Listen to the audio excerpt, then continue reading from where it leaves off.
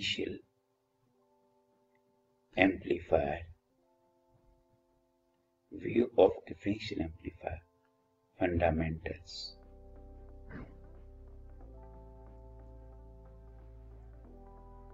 This is ideal differential amplifier.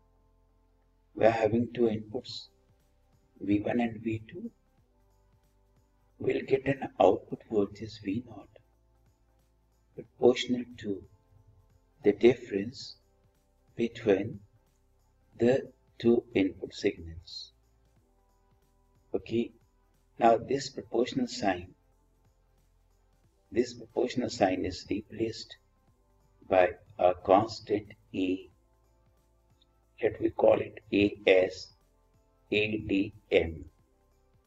ADM implies that it is differential mode gain.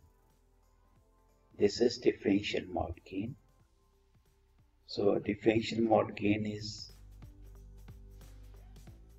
differential mode gain in case of ideal differential amplifier. In case of ideal differential amplifier, it is output voltage over the difference signal V1 minus V2. So this becomes the differential mode gain for ideal differential amplifier. Voltage gain of differential, uh, you know, like uh, differential amplifier, it is in a differential mode. This is, you know, this gain is called denoted by ADM, that the differential mode voltage gain okay like uh, if we're having the two signals here the differential signals are what are the differential signals? Like if this one signal is like this and second signal is like this they are known as this is V1 this is V2 opposite in phase they are called the difference differential signals. So it gives differential amplifier gives maximum output voltage for such type of differential signals. If it is practical differential amplifier then there is second gain that is called common mode voltage gain. Common mode voltage gain. Now what is common mode voltage gain? Now if we're having the two signals like one is this one and other is of the same phase same shape everything same v1 and v2 v1 dash. You call it v1 dash. And v2 dash. V1 dash and v2 dash they are called common mode signal. They are same exactly same in shape and same phase.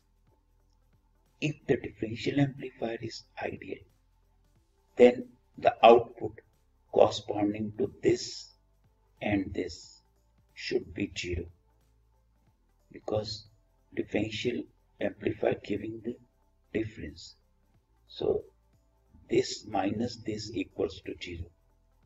But in real case, the and differential amplifier gives some signal, gives some output for common mode voltage.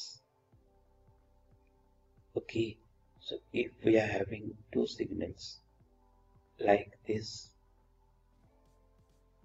V1, V1 dash and V2 dash then we take the common mode signal input signal you know common mode signal. It becomes V1 dash plus V2 dash divided by 2. And the you know differential amplifier it is having some common mode voltage gain like it gives some output you know output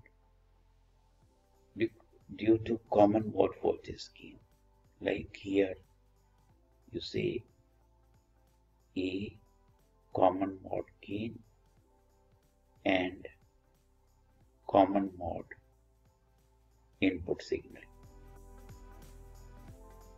Okay so total total output is the total output is the differential mode gain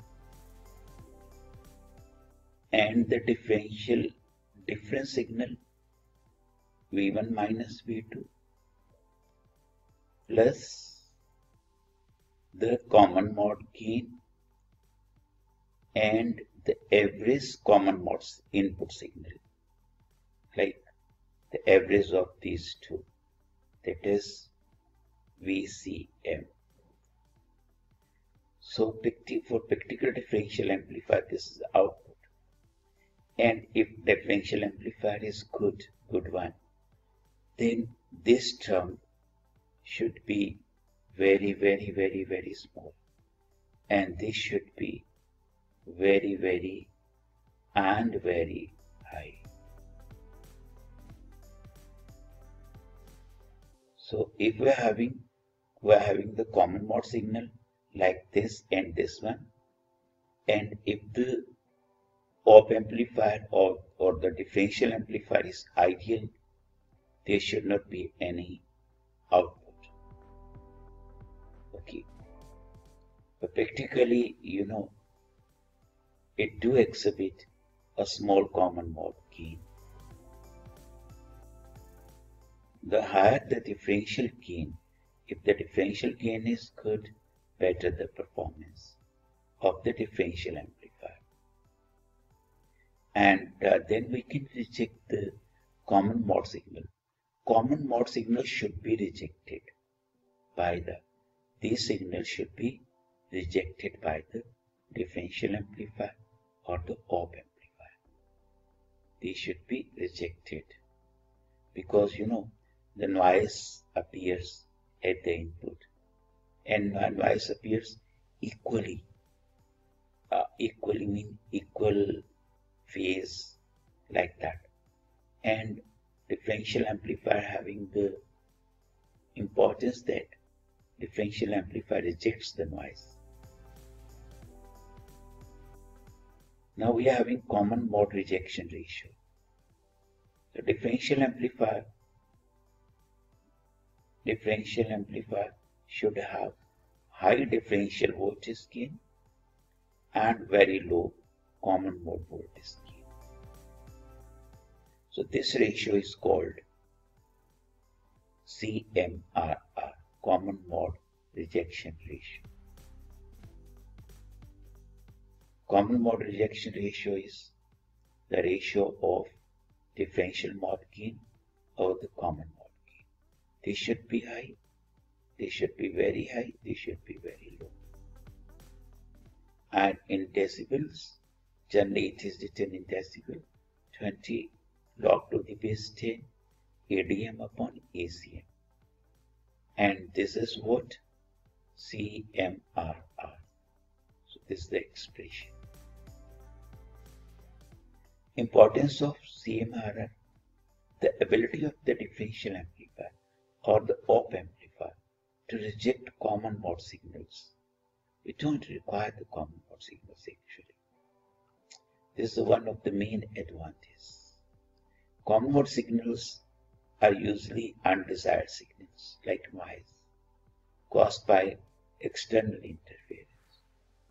So differential amplifier having ability to reject such unwanted signal.